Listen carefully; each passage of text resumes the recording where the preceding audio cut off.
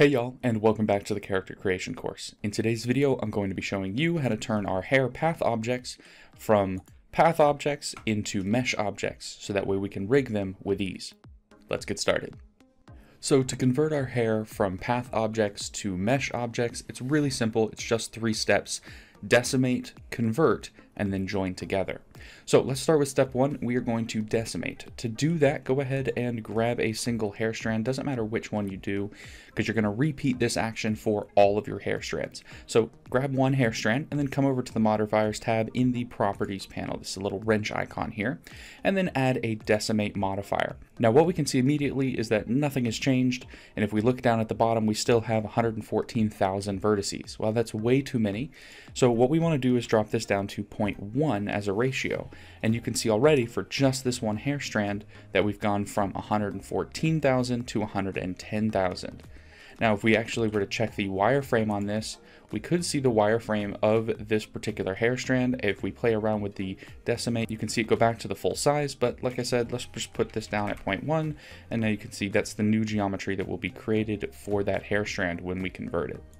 All right, and then just repeat that process for all of the other hair strands, knocking them down to 0.1 as well. So once you think you've added your decimate modifier to all of the hair objects, it's a really good idea just to go back and check them all in the outliner. So just open up that hair container that we created a while back and make sure all of them have the wrench icon next to them.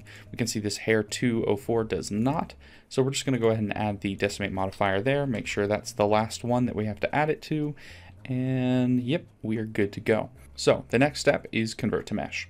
So now that our decimate modifiers are applied, it's time to turn these path objects that we can see if we hit tab and go into edit mode into mesh objects. So just with all of them selected in the outliner, just right click and convert to mesh. And now when we hit tab, you can see we just have mesh where those paths once were. Alright, now that our hair is mesh, we actually want to do one more step simply because we are not going to be animating any hair here. So we're not going to keep these as separate strands, we're just going to merge them all together. So once again, grab all of the hair pieces in the outliner, select one that you're going to make the active object, and then hit Control J which will join them all into one object. Now they're all one object, so you know you just have a hair, a single hair object in your outliner. When you hit tab, you're going to see all of them, uh, but we need to change that origin point. So let's just right click and set the origin point to the center of mass. There we go. That's going to go to about the middle of the head, which will be fine. And then we can see we have a little bit of weird smoothing here, so just make sure right click and shade smooth. If that doesn't work, come over to the object data properties. It's the green upside down triangle on your properties panel. Go to normals and check the auto smoothing, which is going to make those hair strands look a little smoother. And then we can continue to uh, smooth that out if you've still got some weird wrinkles and stuff in your hair that you don't want.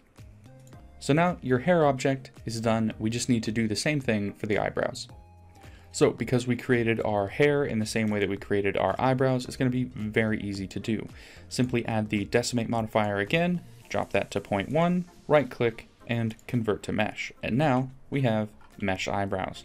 There we go, easy, said, and done. We don't need to, you know, join them or separate them out simply because they'll be fine on their own. But if you wanted to, you could come in, select, uh, and then hit P and by loose parts, which will give you two eyebrow objects, one over here for which we can then set the origin to geometry, set the origin to geometry instead of geometry to origin, and do the same thing for the other one. So now we have two different eyebrow objects and one singular hair object, and our hair has been converted for rigging.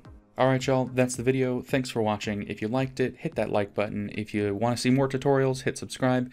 Otherwise guys, I'll see you later.